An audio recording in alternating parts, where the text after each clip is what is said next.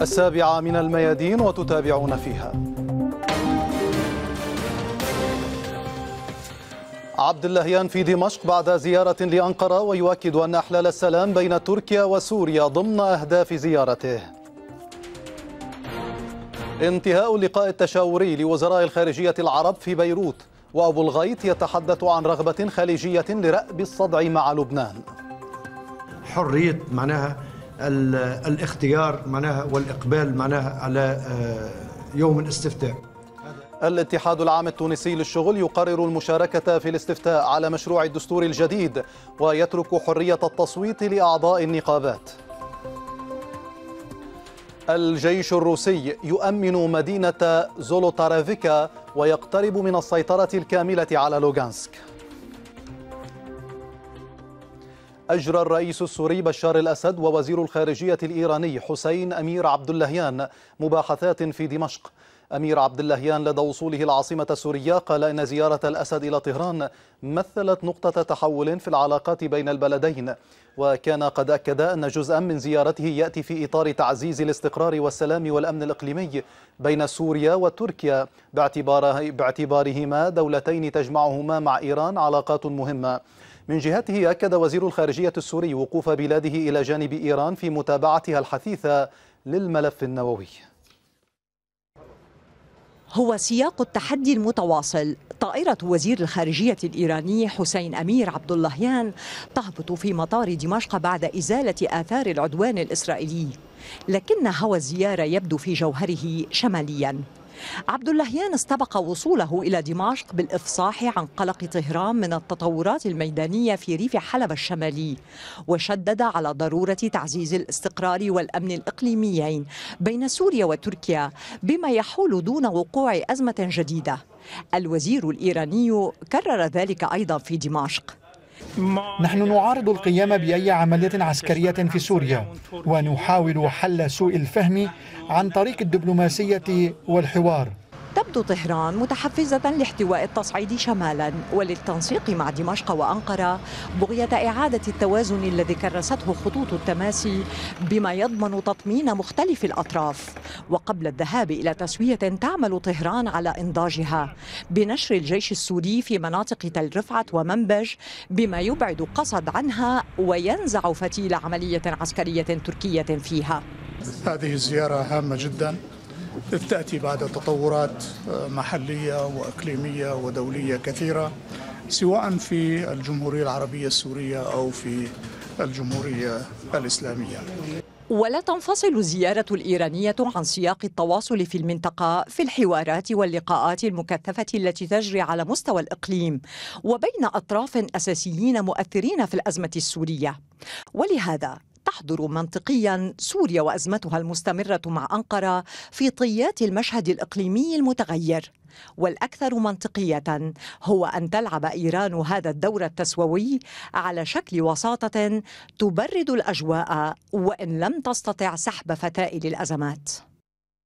استمرار الأزمات في المنطقة قد يدفع إلى موجات لجوء جديدة لن تتحملها أوروبا المأزومة بالتبعات الاقتصادية للمواجهة الدولية في أوكرانيا.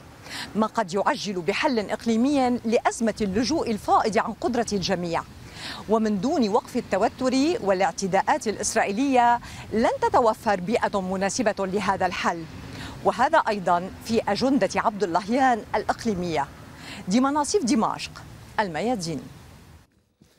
تعرضت نقاط الجيش السوري في قرية مرعناز قرب أعزاز لقصف مدفعي وصاروخي عنيف مصدره القواعد العسكرية التركية في ريف حلب الشمالي.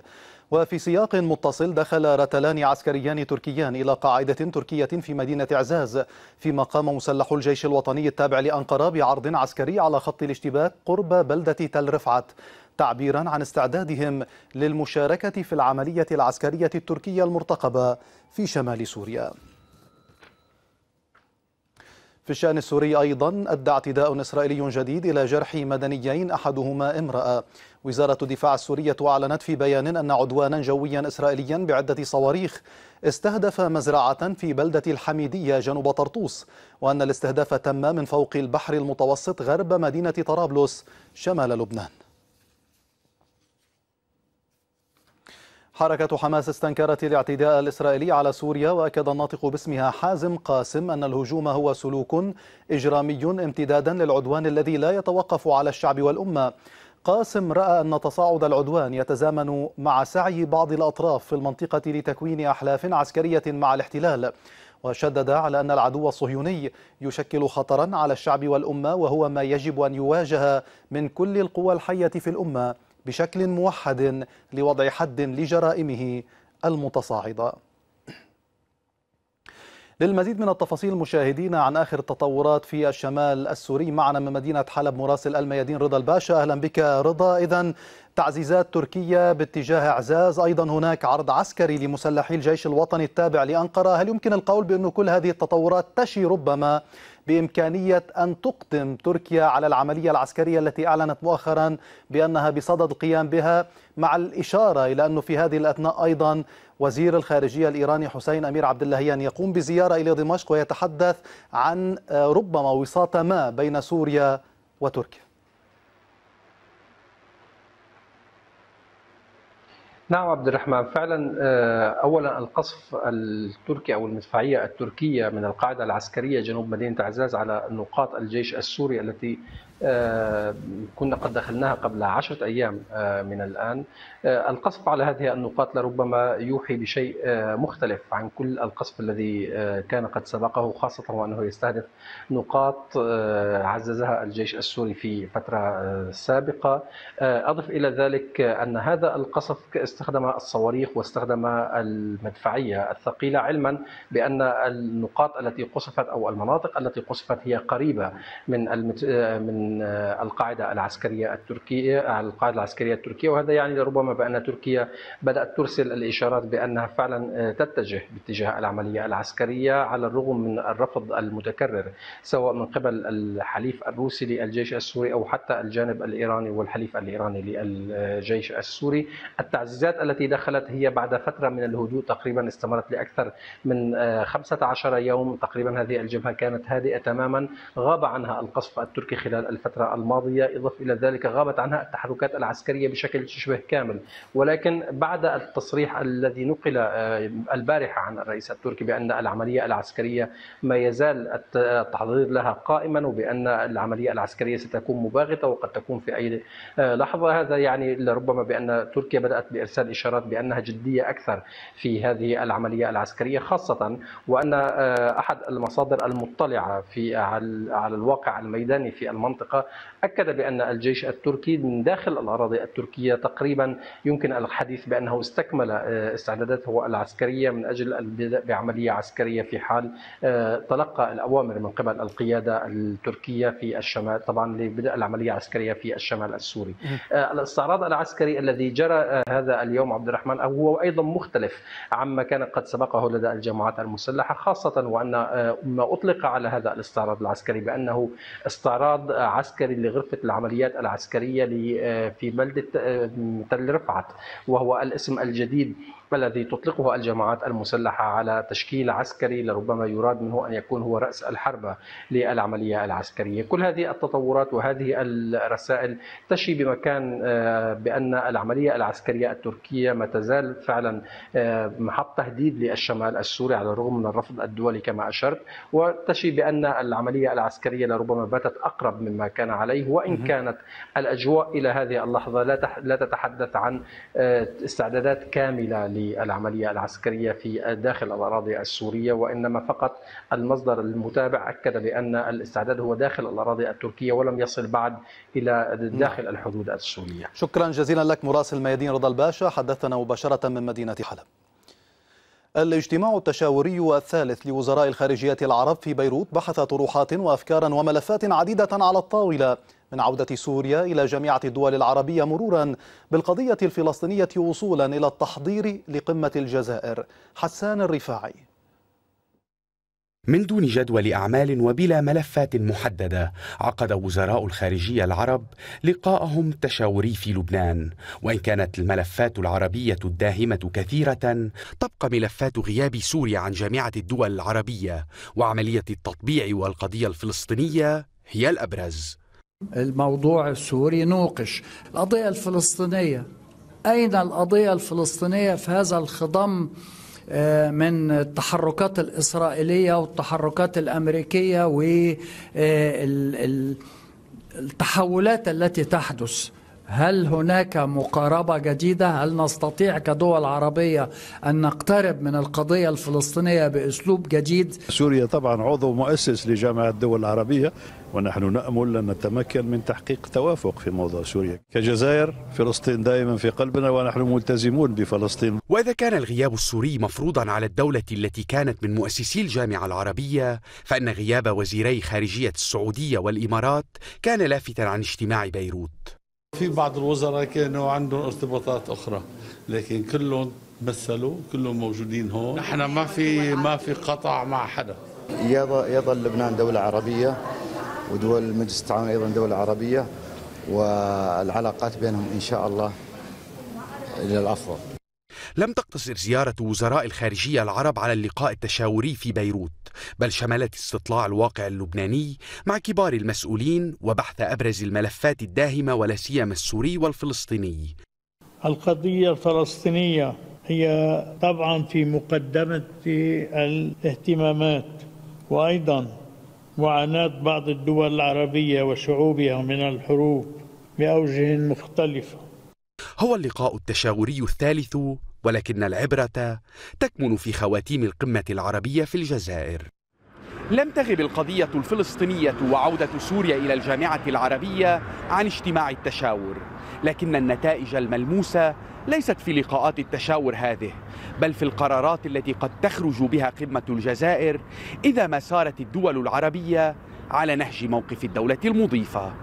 حسان الرفاعي بيروت الميادين. في الشأن اللبناني أيضا وبعد قفزة كبيرة في الحاجات الإنسانية من جراء تدهور الأوضاع المعيشية بشكل مأساوي دعت الأمم المتحدة إلى تأمين 150 مليون دولار كمساهمات إضافية لمساعدة اللبنانيين والفلسطينيين في لبنان.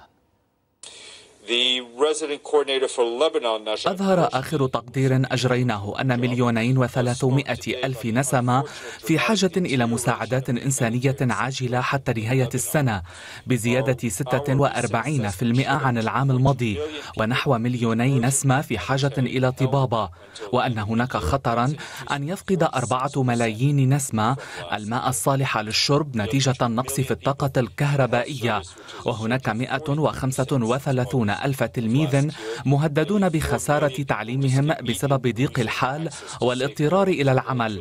كنا قد أطلقنا نداء في آب أغسطس الماضي لجمع 200 مليون دولار وأننا بحاجة إلى 150 مليون دولار إضافية لمساعدة مليون نسمة من اللبنانيين والفلسطينيين المحتاجين.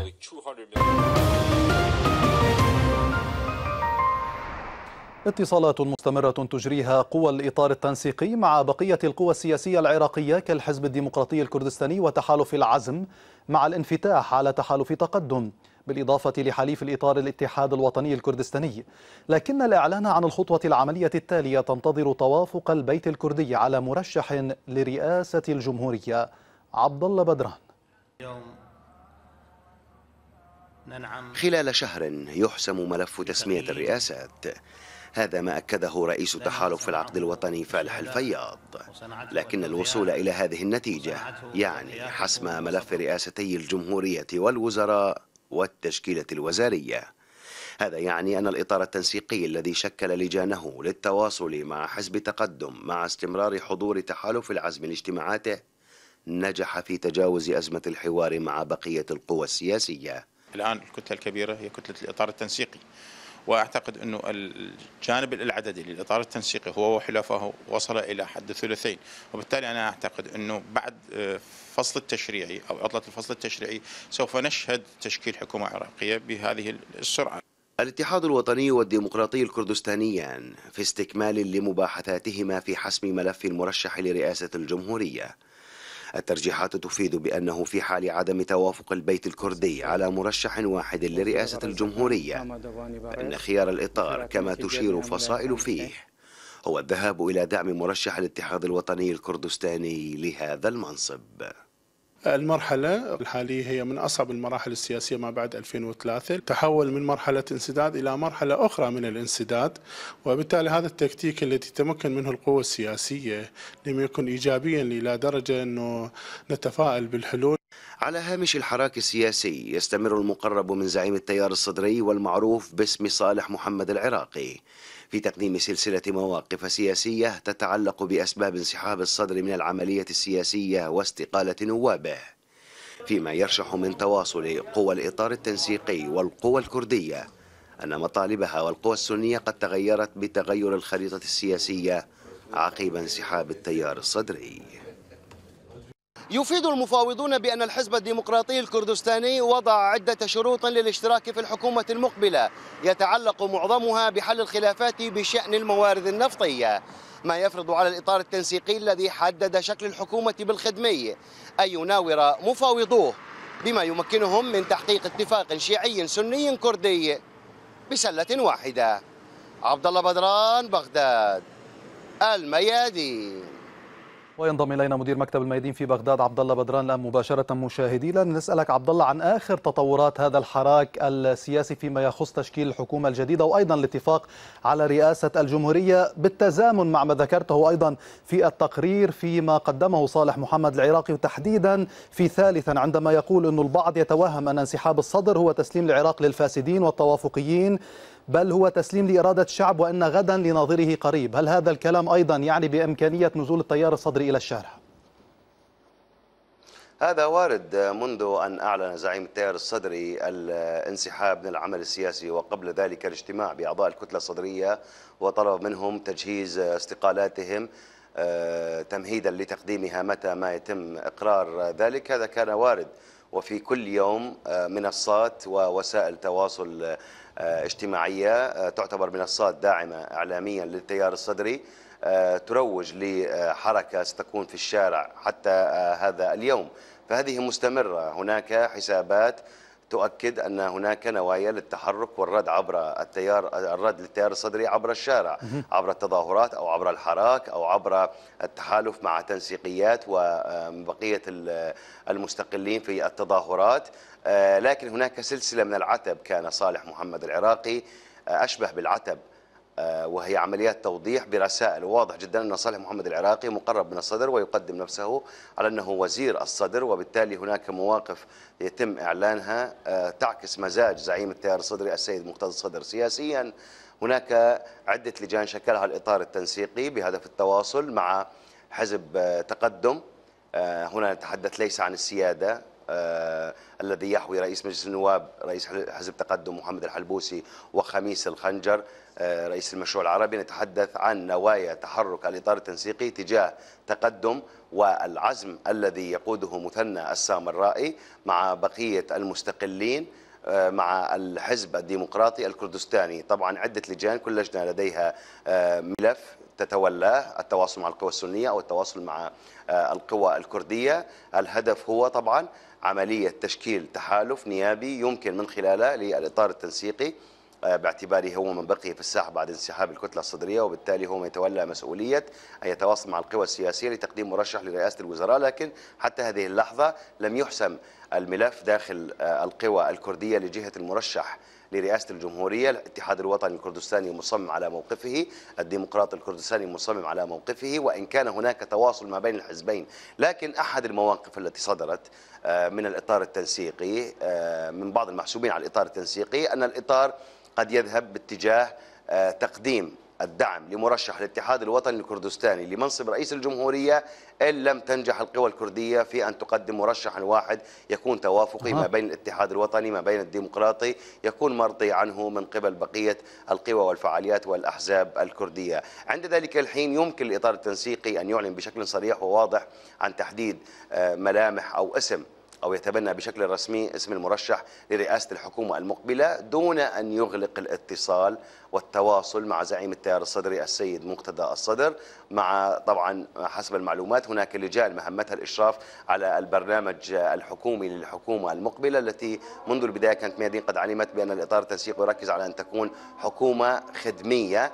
وكما أشار رئيس تحالف العقد الوطني فالح الفياض آه، قبل يومين في لقاء متلفز أن النوايا هي حكومة قوية خدمية. آه، هناك تواصل مع القوى السياسية أن تكون مشتركة فيها من أجل تجاوز آه، هذه المرحلة مع بقاء طبعا آه، كما ذكرنا قناة التواصل مع زعيم التيار الصدري السيد مقتدى الصدر.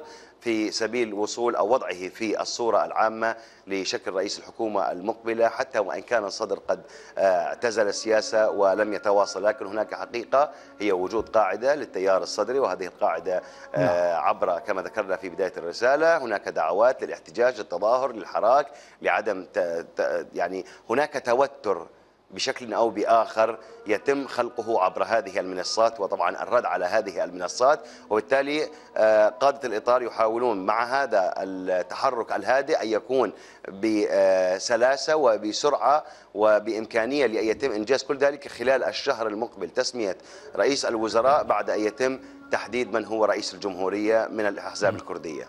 شكرا لك عبد الله بدران مدير مكتب الميادين في بغداد حدثنا مباشرة من العاصمة العراقية.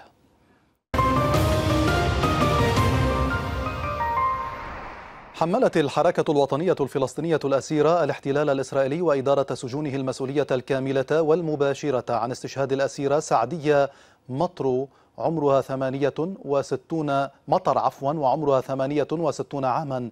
وهي أكبر الأسيرات سنا في سجن الدامون داعية الجهات الرسمية والفصائل إلى محاسبة الاحتلال على جريمته.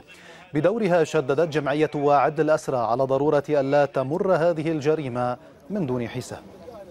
وإن هذه الجريمة لن تمر دون حساب ومن حق المقاومة أن تدافع عن أسراها وعن شعبنا الفلسطيني. وسنعمل كل جهدنا من أجل تبييض السجون الصهيونية من خلال اختطاف مزيد من الجرائم الصهاينة من الجنود الصهاينة ومبادلتهم عبر صفقات التبادل زيارة الرئيس الأمريكي جو بايدن المرتقبة إلى المنطقة فتحت الشهية الإسرائيلية على أطماع ومطالب جديدة. يأتي ذلك في ضوء الحديث عن تطوير مهم للعلاقات العلنية الإسرائيلية السعودية والدفع باتجاه صفقات أمنية مع المملكة. هاني فحص. آمال عريضة تعلقها إسرائيل على زيارة الرئيس الأمريكي جو بايدن للمنطقة في الثالثة عشر من الشهر الحالي. وكلما اقترب موعد حصولها توسعت دائرة التوظيف الإسرائيلي لها وزادت قائمة المطالب هل يمكن أن نخرج مع نهاية زيارة بايدن بعلاقات فعلية بين إسرائيل والسعودية؟ على إسرائيل أن تقرر ماذا تريد من الأمريكيين ومقابل تأييد الاتفاق النووي يجب أن نحصل على مقابل كاتفاقات أمنية أو تقدم في العلاقات مع السعودية أو قد نحصل على حلف وتنسيق أمنيين مع دول أخرى. وبما أن الأطماع الإسرائيلية لا تقتصر على الجانب السياسي والمعنوي بدأ الحديث عن تطلع إسرائيل إلى المال السعودي. خلال الأسابيع المقبلة ستحاول إسرائيل الدفع باتجاه صفقة أمنية مع السعودية عبر بيعها منظومات دفاع جوي. وخلال زيارة بايدن سيحاول المسؤولون الإسرائيليون تحريك نوع من حلف دفاعي إقليمي مشترك مع دول معتدلة في المنطقة.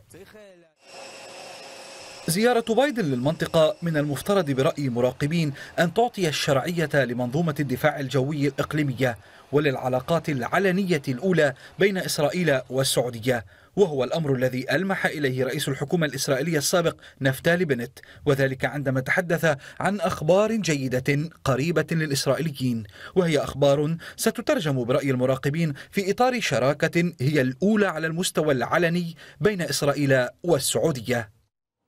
فاصل ونعود.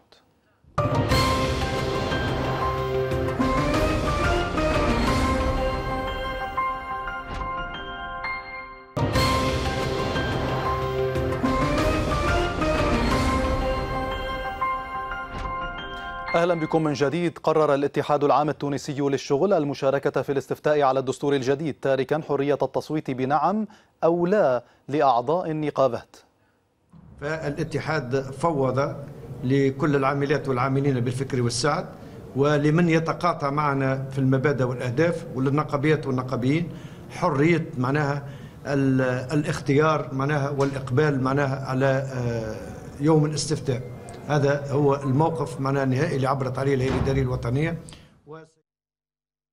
بعض المسائل اللي كانت إيجابية فهمني فيما يتعلق بدستور 2014 فيما يتعلق بالحقوق العامة والفردية والحق النقابي وحق الإضراب ورغم بعض الهينات اللي فيها ولكن هناك بعض الهينات تتمثل في تكلس السلطة بيد واحدة في غياب معناها معناها ذكر مدنية الدولة في التوازن بين السلط.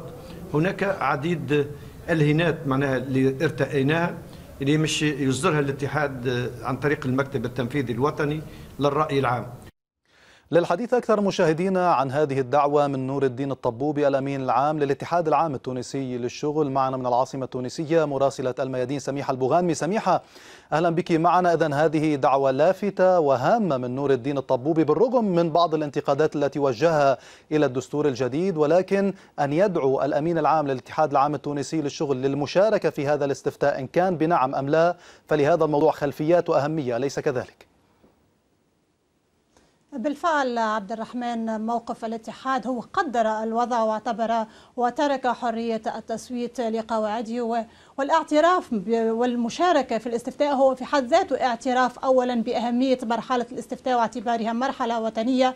أيضا هو مشاركة في الاستفتاء بما أنه يعتبر أن 25 جويلية ليس بالانقلاب وبالتالي هذا القرار هو مهم, مهم جدا. لا سيما أنه جاء بعد نقاش طويل يعني اجتماع اليوم استمر لست ساعات وكانت هناك المواقف بين المؤيد والرافض لهذا الدستور. لا سيما أنه حضر عدد كبير من خبراء الدستور وألقوا بقراءتهم في هذا الدستور. وفي النهاية أجمع الاتحاد على ضرورة المشاركة في هذا الاستفتاء وترك الحرية للقواعد الاختيار وبالتالي يبدو أن المواقف بدأت تتوضح عبد الرحمن أيضا قبل قليل. حركة الشعب أكدت أنها ستشارك في هذا الاستفتاء. بنعم كذلك موقف حركة تونس إلى الأمام التحالف من أجل تونس التيار الشعبي.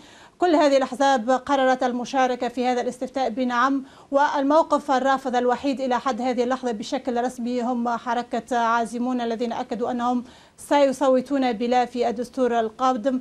أيضا خلال الأسبوع المقبل هناك عديد الندوات الصحفية الأحزاب السياسية والتي ستعلن عن مواقفها بشكل رسمي. غدا عبد الرحمن تنطلق رسميا الحملة الوطنية للاستفتاء. هذه الحملة التي ستكون فيها جولات داخل الجهات وكذلك في الولايات للتعريف بهذا الدستور وللتعريف بأهمية الاستفتاء كمرحلة وطنية مهمة للبلاد. يعني تقريبا بدأ العد التنازلي لهذا الموعد التاريخي الهام الذي تنتظره تونس اليوم. الدستور رغم كل الانتقادات التي وجهت إليه حتى من الاتحاد العام التونسي للشغل الذي قال إن الاتحاد ربما كانت فيه بعض النقاط الإيجابية من ذلك الحقوق المدنية والحق النقابي والحق في الإضراب إلا أنه يتضمن بعض الخلل ودعا إلى ضرورة المشاركة في الحوار. يعني الاتحاد لا زال يدعو إلى الحوار مجددا حتى بعد إصدار الدستور ولكنه دعا إلى حوار جدي وأن لا تكون نتائجه جاهزة خدمة وإعلاء لمصلحة البلاد. ولكن كل ما يحصل الآن سميحة يؤشر كما ذكرت بأننا بدأنا بالمرحلة العكسية باتجاه الوصول إلى الموعد المنتظر في الخامس والعشرين من جويليا موعد الاستفتاء على هذا الدستور الجديد خاصة أنه بالأمس كان هناك تفاعل كبير إن كان من قبل الذين رحبوا بهذا الدستور الجديد والمسودة الجديدة أو المنتقدين لهذه المسودة الجديدة أليس كذلك؟ بالفعل عبد الرحمن ربما الساعات الأولى ومنذ صدور هذا الدستور بالرائد الرسمي بدأت المواقف تباعا. هناك من رحب بهذا الدستور يعني تقريبا يمكن الحديث عن ثلاث مواقف. الموقف الأول وهو جاء رافض لمسار 25 برمته من ذلك جبهة الخلاص وحركة النهضة وأحزاب الداعية لحملة إسقاط الاستفتاء.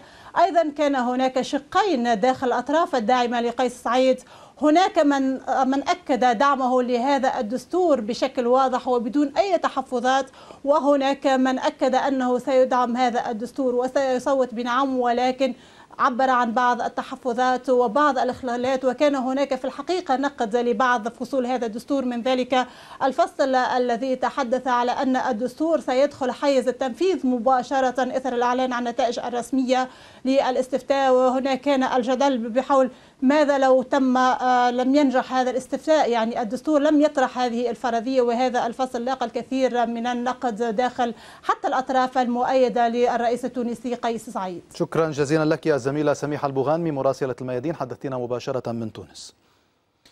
المشهد الليبي إلى مزيد من الفوضى. محتجون يقتحمون مبنى البرلمان في طبرق وكل الاستحقاقات الدستورية في البلاد في مهب الريح. جراسيا بطهر لا سلطة واحدة في ليبيا لا قاعدة دستورية متفق عليها سلاح متفلت وطموحات في الرئاسة وغيرها. هو وضع يظهر أن للفوضى الصوت الأعلى.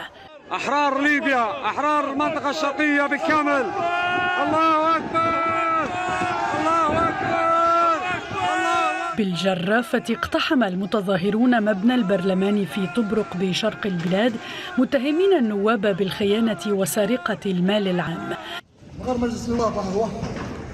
قد يكون انقطاع الكهرباء في صيف ليبي سببا مقنعا للتظاهر لكن الغضب أكبر بكثير. غضب يطال الجميع هذه المرة على الأقل في الهتافات. مللنا مللنا الشعب يريد إسقاط الحكومات. في الليل والنهار. تستمر الاحتجاجات في كل من بنغازي والبيضاء ومصراتة وغيرها. من يملك الحل؟ خلاصة مفاوضات جنيف كانت الفشل كما كانت سابقاتها في القاهرة وغيرها. وفي الداخل ارتفاع أصوات تطالب باستقالات جماعية من مجلسي النواب والدولة. والبرلمان الموجود في الشرق يعين فتحي باشاغا رئيسا لوزراء حكومة جديدة على الرغم من رفض رئيس وزراء حكومة الوحدة الوطنية عبد الحميد دبيبة التنحي عن المنصب. عقم يقابله عقم. وفي الأثناء تحاصر جماعات مسلحة في الشرق منشآت نفطية فينخفض إنتاج ليبيا من البترول إلى حده الأدنى. نهب وفوضى وعدم استقرار وانتخابات نيابية ورئاسية في مهب الريح. فهل الحل موجود أصلا أو لعله ممنوع؟ الأكيد أن الظلمة الليبية لا شيء واضح فيها سوى نار الفوضى. قالت المستشارة الخاصة للأمين العام للأمم المتحدة بشأن ليبيا ستيفاني ويليامز إن أعمال الشغب والتخريب كاقتحام مقر مجلس النواب غير مقبولة على الإطلاق. ويليامز وفي تغريدة على تويتر شددت على أنه ينبغي احترام وحماية حق الشعب في الاحتجاج السلمي مضيفة أنه من الضروري الحفاظ على الهدوء وتعامل القيادة الليبية بمسؤولية تجاه الاحتجاجات وممارسة الجميع لضبط النفس. أعلن الجيش الروسي تأمين قرية زولوتاريفكا مضيفا أنه في طريقه لإحكام السيطرة على مدينة ليستشانسك آخر معقل للقوات الأوكرانية في لوغانسك. وزارة الدفاع الروسية أكدت سيطرة الجيش على مصفاة النفط في ليستشانسك ومنجم ماتروسكايا ومصنع الجيلاتين وقرية توبوليفكا. فيما أعلنت جمهورية لوغانسك الشعبية محاصرة أكثر من ألفي مقاتل أوكراني ومرتزق في ليستشانسك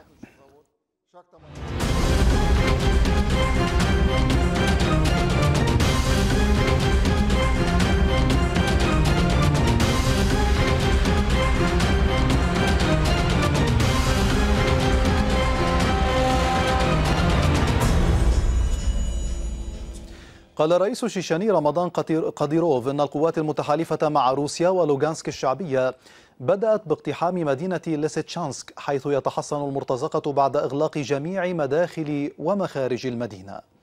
السلام عليكم. ليسيتشانسك لنا الوحدات المتحالفة موجودة بالفعل في وسط المدينة والعدالة تنتصر. لقد تم الإطباق وحصرهم في المصيدة بالكامل. ليسيتشانسك محاصرة بالكامل. تعهدت رئيسة المفوضية الأوروبية بصياغة خطة طوارئ لمساعدة الدول الأعضاء في الاستغناء عن الطاقة الروسية. وفي تصريحات خلال الاحتفال بتولي تشيكيا الرئاسة الدورية للاتحاد الأوروبي أشارت أورسولا فوندرلين إلى وجود توجه لتسريع تطوير الطاقة المتجددة على مستوى الكتلة الأوروبية. يجب التنويع بعيدا عن الطاقة الروسية فأسعار الطاقة مرتفعة والمواطنون يتوقعون منا أن نتحرك إزاء ذلك. أشرت سابقا إلى وجود مبادرة تعتمد على تنويع مصادر الطاقة والتحرر من الوقود المستورد من روسيا بأسعار عالية. ونحن بالفعل نبحث عن جهات بديلة إلى جانب زيادة الاستثمار في مصادر الطاقة المتجددة. واشنطن ترفع مستوى المساعدات العسكرية المقدمة لكييف. نوعية المساعدات وتوقيتها يثيران العديد من الأسئلة حول الهدف الحقيقي منها. ماذا تتضمن هذه الحزمة من المساعدات ولما قد تغير مجريات الميدان الأوكراني؟ التفاصيل في التقرير التالي. 820 مليون دولار هي قيمة حزمة المساعدات العسكرية التي خصصها البنتاغون لأوكرانيا من مخزونات الجيش الأمريكي نهاية شهر أيار مايو الماضي. وبهذا تصل قيمة مساعدات واشنطن لكييف إلى نحو سبعة مليارات دولار منذ بدء العملية الروسية الخاصة في الرابع والعشرين من شباط فبراير الماضي. الحزمة الجديدة تشمل منظومتي صواريخ نرويجيتين من طراز نيسمس وهيمارس ونحو 150 ألف قذيفة مدفعية من عيار 150 ملم وأربعة رادارات. أهمية منظومة نيسمس الصاروخية المتوسطة المدى تكمن في أنها مضادة للطائرات ومصممة للاشتباك مع أهداف جوية على ارتفاعات منخفضة ومتوسطة في جميع الظروف الجوية. هي المنظومة المستخدمة لحماية المجال الجوي حول البيت الأبيض ومبنى الكابيتال في واشنطن إذ يراوح مداها بين 55 و 180 كيلومترا وتعمل على ارتفاع يصل إلى 16 كيلومترا.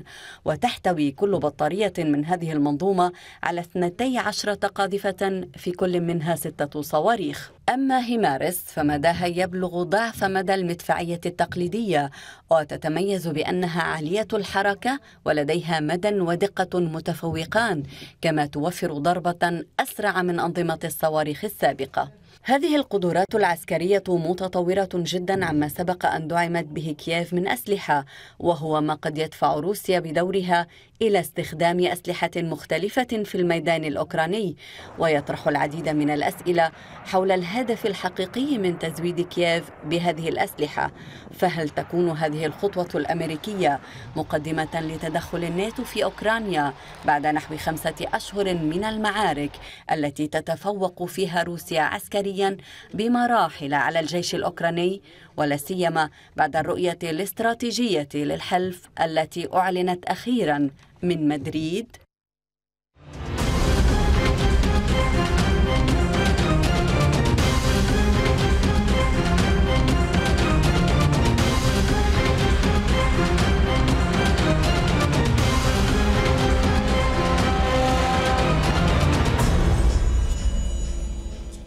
قبل أسبوع على بدء مناسك الحج بالوقوف على صعيد عرفة بدأت مكة المكرمة وبيت الله, وبيت الله الحرام باستقبال عشرات الآلاف من الحجاج الوافدين من كل دول العالم لتأدية الركن الخامس للإسلام بعد انقطاع لسنتين بسبب جائحة كورونا. إحنا نحمد ربي الحمد لله بعد غياب سنتين من الحج ومناسك العمرة كنا مشتاقين إلى بيت الله الحرام. وإلى اللقاء بإخواننا من كل المسلمين ومن كل العرب في هذا البلد الطيب. والسعوديه إنها بلد مضياف وبلد طيب. نشكرها على الترحاب وعلى التسهيلات التي تقوم بها لمساعدة كل الحجاج. بنشوف حجاج من أوروبا ومن أستراليا ومن أمريكا بيجون ويؤدون الحج والشعائر بمنتهى السلاسة وبمنتهى السهولة. ويعني نشكر الله. جدا مبسوط الحمد لله. جدا يعني عندي شعور بالفرحة بالسعة وكأنه كان إنسان عرفت؟ يعني داخل قفص وأطلقوا أطلقوا حريته يعني. الحمد لله شعور ممتاز جدا وفرحة تغمر قلبي بشكل لا يوصف. كان فيروس كورونا عائق قوي جدا أمام الحجاج وأمام المؤتمرين بشكل عام. لكن الآن بعد أن انتهى هذا الموضوع الحمد لله يعني يعني دخلنا إلى بيت الله الحرام نحن في سعادة وفرحة قوية جدا. لا يبتعد أداء فريضة الحج للمسلمين في مكة المكرمة عن الكم الكبير الدروس والعبر الاجتماعية التي يستفيد منها المسلم. دروس تطال السلوكيات ولا تنفصل عن المبادئ والقيم السامية للبشرية جمعاء. محمد درويش. هي فلسفة باسم الرحمن تحاكي آية الحج ومناسك الوحدة. تطوف القلوب على أنغام التسبيحات لتهوي تراتيلها عشقا عند البيت العتيق. وتهيم بها أفئدة الوالهين بين الركن والمقام. فلسفة للقلوب هي ووحدة للحج والحجيج. هي الإرادة التي تحملها الأفئدة لا الأجساد عظيمة هي الدروس والعبر المستقاة من أداء فريضة الحج. تتجاوز كونها مجرد فريضة عادية يؤديها المسلمون. هي دروس في الصبر على أداء الطاعات وتوحيد للقلوب والأرواح بين الناس. هنا الجميع سواسية لا فرق بين فقير وغني ولا تمييز في العرق أو الجنس أو اللون. كلهم بلباس أبيض موحد في رحلتهم نحو الصفاء فلسفة الحج هي تلك المشاعر المقدسة التي تمد يدها للترفع عن الأحقاد والضغائن وتناسي الخصومة والعداوات والتطهر من التمرد والانحراف. هي شد للنفوس نحو رحال التضحية والبذل والإحسان وجذب للقلوب للانسجام مع أجناس كثيرة جاءت لتردد لبيك اللهم لبيك. لبيك اللهم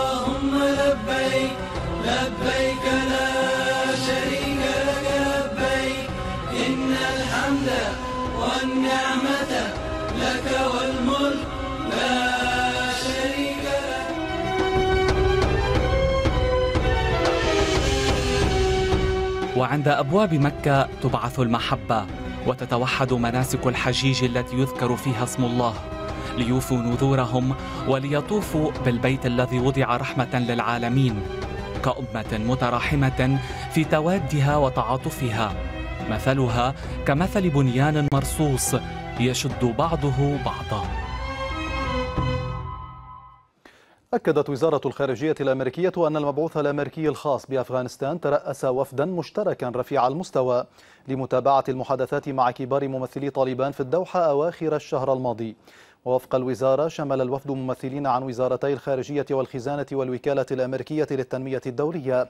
حيث بحث الجانبان خطوات لبناء الثقة الدولية بالبنك المركزي الأفغاني. وناقش المبعوث الأمريكي الخطوات نحو تطبيع العلاقات الأمريكية مع طالبان فيما جددت الأخيرة تعهدها بعدم السماح لأي شخص باستخدام أراضي أفغانستان لتهديد أي دولة. لقي خمسة أشخاص حتفهم من جراء زلزال ضرب محافظة هرمزكان جنوب إيران. الزلزال الذي بلغت قوته ست درجات على مقياس ريختر أدى أيضا إلى جرح 19 شخصا. وبحسب المركز الأمريكي للمسح الجيولوجي ضرب الزلزال منطقة تقع على بعد 100 كيلومتر جنوب غرب ميناء بندر عباس. احتجاجا على مقتل 23 مهاجرا عند جيب مليلة عند الحدود بين المغرب وإسبانيا. خرجت تظاهرات في عدة مدن إسبانية. وتجمع العشرات في برشلونة وملقا وفيغو. وكذلك في مليلة حيث وقعت المأساة في الرابع والعشرين من الشهر الماضي. وحمل بعضهم لافتات كتب عليها حياة السود مهمة باللغة الإسبانية. وندد هؤلاء بسياسة الهجرة المتجسدة بوحشية الشرطة وعسكرة الحدود.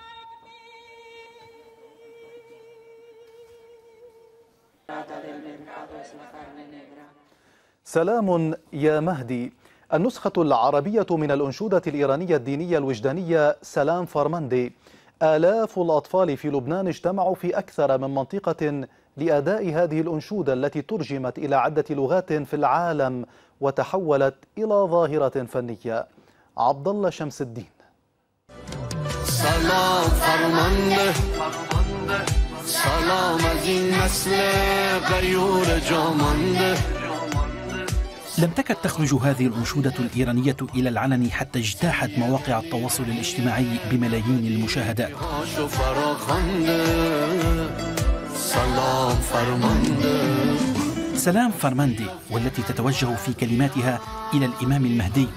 الإمام الثاني عشر لدى المسلمين الشيعة ما لبثت أن ترجمت إلى العديد من اللغات في العالم ومنها العربية فخرجت أنشودة سلام يا مهدي.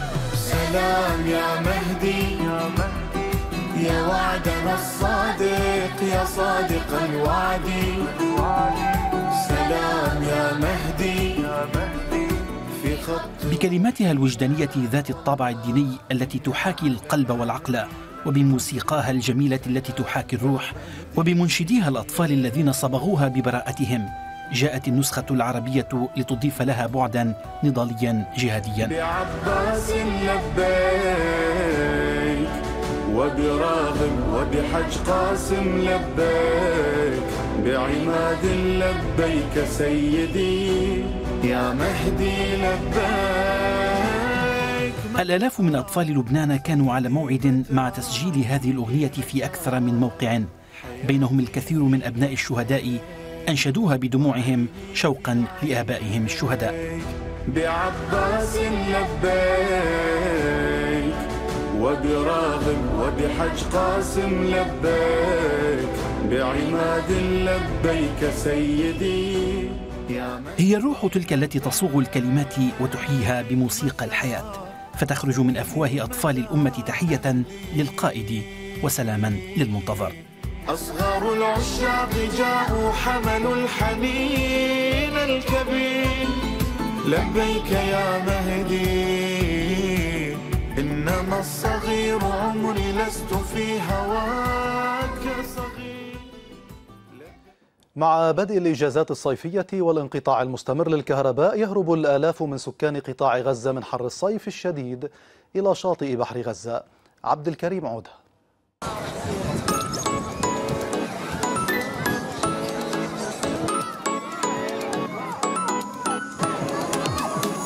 جبت أولاد أولاد احفادي أولاد أولادي كلهم جايين يشموا الهواء. ما فيش منفس غير البحر.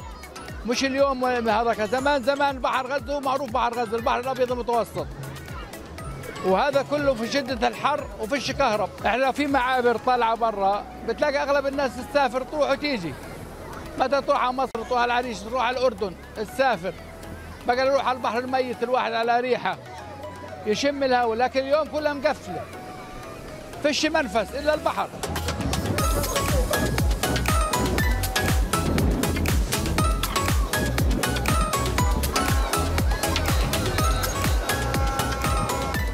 اليوم البحر على قلب الواحد قلب الشباب ما هيك شايف الشباب قديش ما شاء الله. فيش لا روحه ولا جاي هيك مقفل وهيك مقفل. وكلهم بيجوا بيشموا الهواء على البحر هنا.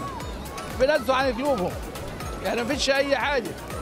كله بيجي على البحر بهرب وين بده يروح؟ لا في قبل هيك فاتح ولا في شمال فاتح ولا في شرق فاتح.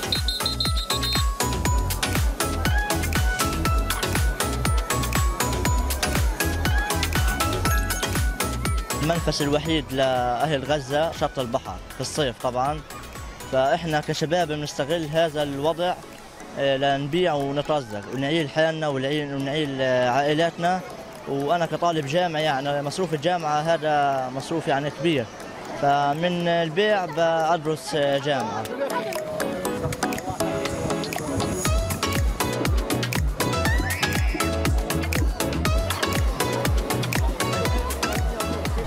خلصت امتحانات أجيت أغير جو وما في منتزه ولا ألعاب.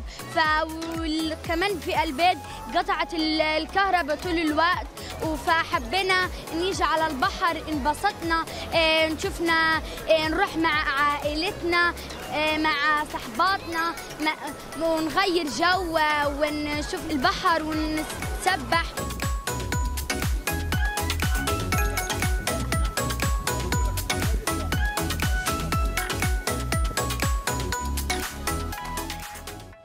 إلى العناوين.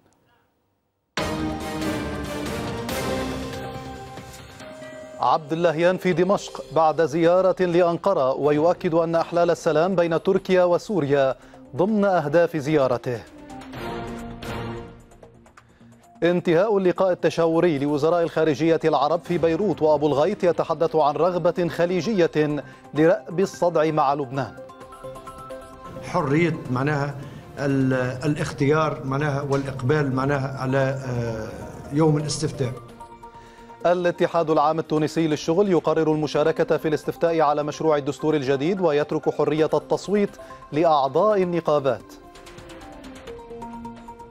الجيش الروسي يؤمن مدينة زولوتاريفكا ويقترب من السيطرة الكاملة على لوغانسك. للمزيد من الأخبار والتقارير مشاهدينا دائما زوروا موقع الميادين في شبكة الإنترنت الميادين دوت نت باللغات الثلاث العربية الإنجليزية والإسبانية. وإلى اللقاء.